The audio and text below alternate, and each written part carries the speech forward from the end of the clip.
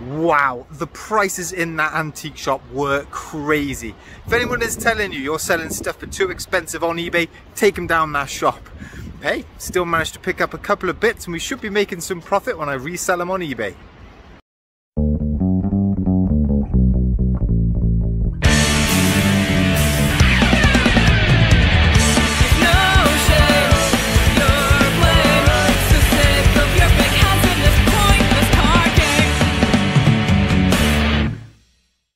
Hey guys, Ian, the Master of Pieces here. I'm a part-time eBay reseller and in this video we're going to do something a little bit different. Now usually on a Wednesday I head to the charity shop and look for loads of stuff to resell on eBay for profit but today I fancy trying out an antique shop. Now what's caught my eye about this one in particular is yeah they sell all the usual antique type stuff but they do retro and vintage clothing and more importantly retro toys so it's right up my street. So I'm going to see if I can actually find some bargains in there some and find some stuff I can resell on eBay. But before we head to the antique shop, let's see what's sold on eBay Monday and Tuesday. So let's run through what's sold Monday and Tuesday on eBay this week. I've sold seven things in total, and that's the first one there. Now remember a couple of videos ago I told you about the brand NECA? Well, I sold this Edward Cullen off of Twilight. It is boxed, I mean just about, sealed, by that little piece of sellotape. Again, just about. But look, this is absolutely battered, isn't it? Very much pre-owned. It is missing a little shield up there. And that obviously has really hampered the price. I paid 50 pence for this one. And I took an offer, actually. It's gone for £9 all in. Now, sealed in good condition, you're looking for about 18 to 20 pounds maybe. So yeah, I wasn't going to get much more for that. Next up, we've got two vintage board games. Let's just crouch down here because there's the top one, Stay Alive. And I've only just sold this one actually. The last one I sold went for £11 plus postage. I paid £2 for this one. Remember, MB Games. Always check out the old MB Games because you never know, you might be surprised. And the other board game I sold, right, is this game down here. It's called Booby Trap. And this is a little beauty. This is by Parker Brothers there's a little sign there. Now the thing to look at with this, this is mega old, right, is it does it have all the pieces? And also it's got a little spring in there. Does that spring still work? What a lovely box though, eh? Right, let's bring it over here because I paid £2 for this in the charity shop. And these have both gone to the same buyer. So that's £4 I've paid. They've sold for £40 all in. Nice little sale. Love vintage board games. Right, next up, let's go down here. And I know it's in that carrier bag because I've literally only just been sorting these out. These are called, let's get on the table, Matchbox Connectables. And what they are, these were from the 90s. And there was a range of Matchbox cars and vehicles, you know, helicopters, planes, that you could just clip together. They had all these little universal con connectors so you could make massive long vehicles. Now, there's a fair few in there, right? I paid £5 and they've gone for £20 plus postage. So a nice quick sale. They've gone within a fortnight. And actually, I've got another box of them there. So that should be another nice sale too.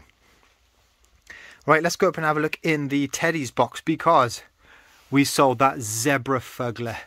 Check this guy out. I got this one um, as part of the swap I did with Connor, the Welsh poker picker. Look at that. It is the most ugly thing, but these are really collectible. Now, this one has gone for £12 plus postage, and actually that's probably the cheapest one up, up on eBay. If you got the box for that one, brand new, you're looking mid-20s, something like that. Right, two more sales to go, and we've sold a fair, uh, a fair, a pair of football boots. And it's these ones here. These are the Adidas Preditos I got last charity shop haul. Paid a pound fifty for them. Great condition, but you find that with kids' football boots anyway. Size UK 1, they've gone for £6 plus postage. Not a massive markup, but a nice quick sale. And we'll put them down for now because the last sale is a ton of Scalextric track. I sold my final straight pieces. I think there's only, oh, there might only be five actually. I've still got the curves to go. But those five straight Scalextric pieces has gone for £8 plus postage. Nice and easy to pack. Stick them in a in, in, in a box and they'll be on their way. So all in all, seven pretty decent sales. Not a bad start to the week really. Now how could I have forgotten about these? Check these out. What we've got here are some old school Sweet Valley High books and you need to be looking out for these. These are just amazing sellers. Now I've bought 30 of them, right, for a tenner. So I'm in 30 pence each. And the way I'm selling these off is I've put them in consecutive orders. So I've made little bundles, but there were 13 of them that just didn't fit in with kind of any of the other numbers. Look at that cover there. And those 13 I did put as one lot and that has gone for 20 pounds all in. So those 13, look at that. Those 13 have paid for the whole bundle. Love it. So it's Wednesday and usually on Wednesday what I do is go to the charity shops. But today I've had to drop my car in to get an MOT. So no charity shopping today. And actually the MOT centre is in the middle of nowhere. It's in, a, it's in the middle of a big industrial estate. But there is this strange antique kind of warehouse place. Not really sure what it is. I've I have I have given it a Google and there seems to be lots of different pop-up shops, furniture, old vintage clothing, vintage toys. Let's go in, see what we can see.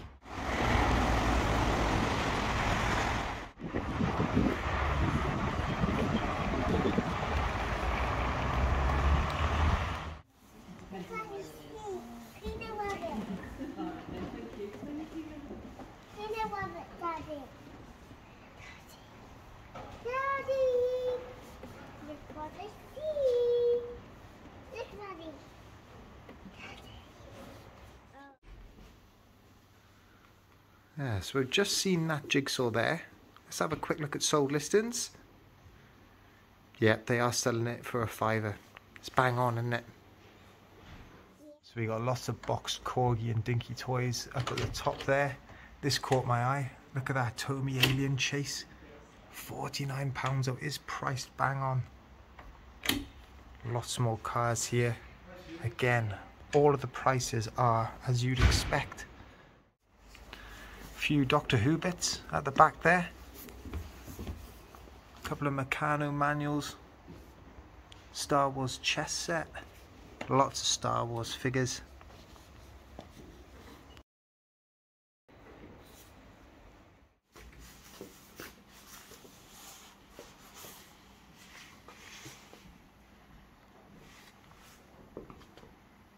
I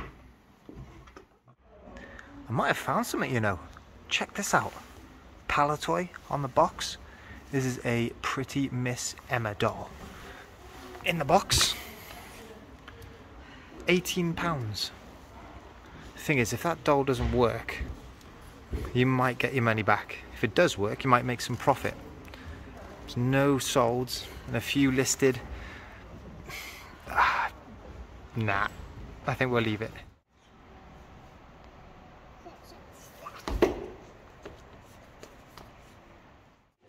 This is really cool. We've just come downstairs. We're kind of in the basement of the pump house now. Look at that.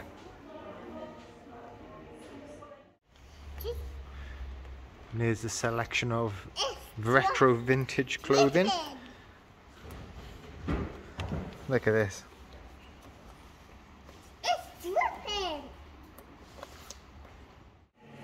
Here's a little turnip for the books tea and coffee prices are pretty decent. Have a look at what we found down here. Look at this. A Teo remote control Porsche 911. Don't know if it's complete. Don't know if it works. 40 pounds. Not worth the risk. Look at these Disney lights here. They're brilliant. And they are 50 quid. Now solds on these it's there and thereabouts. I mean, some of the listings are up for a much higher condition, just isn't there. Look at some of these trucks here. Wow! Prices are mad though. Look at that Ducati one, 25 quid. Get that for about a tenner on eBay. You know what? I may have actually found some some nice Spider-Man comics there. But check out some of these figures. The prices are okay. But look at this. Look at that Spider-Man there for a fiver. That's worth a go, surely. And at the bottom here, we've got a boxed Power Ranger from Ninja Storm. £10 that one is. Let's give that a crack. So, back from the antique warehouse, and yet dried off a little bit as well. That was soaking, wasn't it? Look, it wasn't really what I expected. I mean, I didn't go to that place expecting charity shop and boot sale prices. Of course you don't. You go you don't go to somewhere like that and expect cheap. But those prices were just crazy.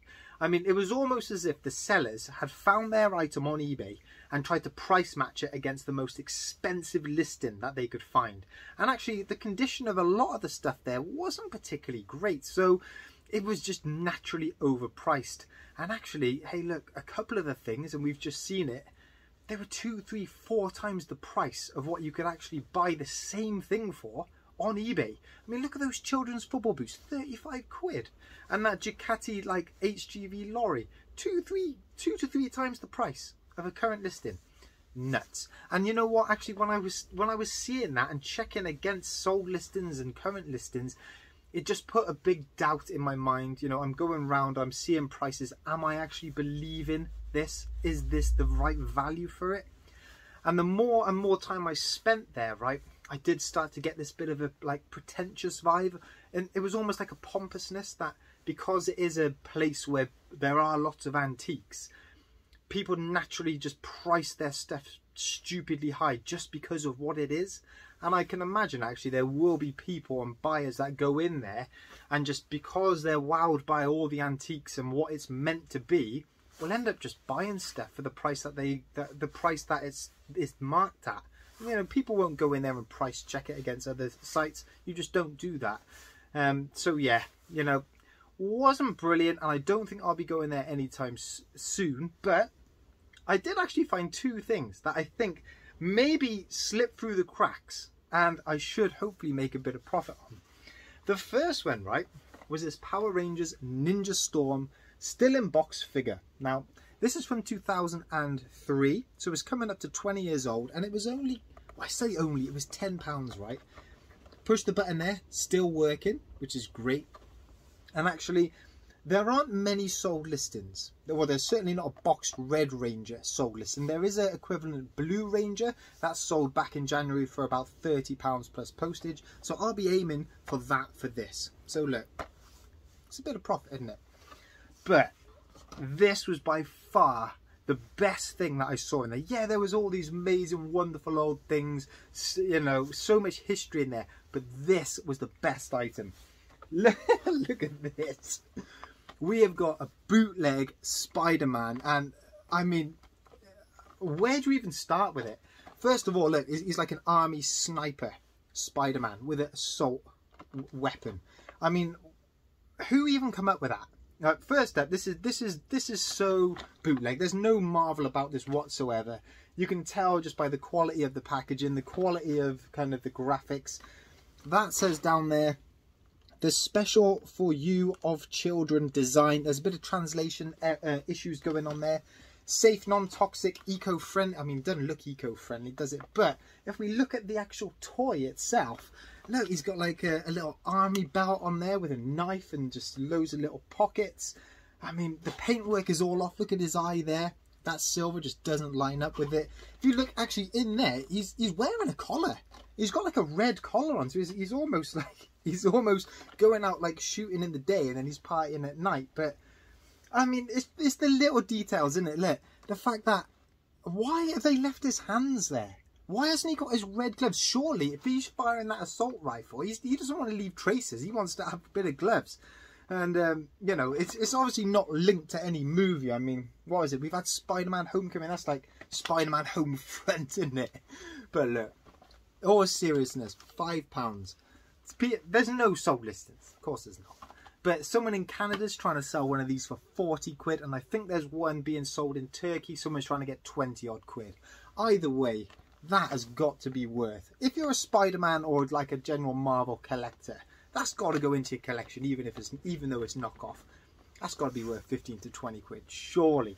And that actually, that made the whole trip to the antique shop worthwhile. Cool. Right. So that's that. That was it. That's the only two things I picked up. I spent about two and a half hours there, and actually you could see some of the people when I was shopping because I did have my son there, and he was going around. They were all so nervous that he was going to pick some up and break some. So hey, we we had a fair bit of fun. Right. Let's find out what sold on eBay on Wednesday to wrap up the video. So sales for me on eBay at the minute are definitely following a trend. I'm not selling many big individual items or high profit items. I'm selling lots of small profit items, but if you add it all together, it does make a nice healthy profit at the end of the day. So these next four items, right, they've gone for either nine or 10 pounds all in each. So First up, we've got this Orlando Magic baseball cap. It's one of the 59.50 ones with the sticker on. I paid a couple of quid at the boot sale, so yeah, that's sold within a week, so not too bad. Now these, or this one in particular, has taken forever to sell. I bought five of these kind of Foster's trays. You put your um, you put your pint glasses in there. Now I paid a pound each, so not too bad. If that's flipped into ten pounds, yes, it's taken six months to do it, and I've still got another four on the shelf. But yeah, should be pretty easy to pack. Might pack it in like a pizza box. It's got that vibe, in it? These I cannot believe have sold. And I picked these up at the boot sale last week as well, didn't I? It's these old school Nike Air trainers and they are just battered. Now, I don't think they got much life left. Look, that top's coming off there. At the back, that the sole is coming away. If I was to pull that, that would completely come off. But I've obviously made that really clear in the listing. I actually wrote damaged in big capital letters with asterisks either side of the, of the damage, just to make people aware. But they have sold within three hours for about a tenner and I paid a pound. So yeah, bit of profit. And the final like low value one is this Spencer Trackmaster train and this has been hanging around for months. Not a particularly popular Trackmaster train I've found. Uh, but what makes this one different and stand out is it does have unique markings on it. It's not your conventional Spencer, but even so, that's taken ages and ages to sell. So yeah, they aren't too glamorous, are they? But you add that up, and yeah, it's been a pretty good day. And it was actually topped off, right? Because I did sell this, and this was quite a nice sale. It's this Sennheiser pair of headphones, brand new.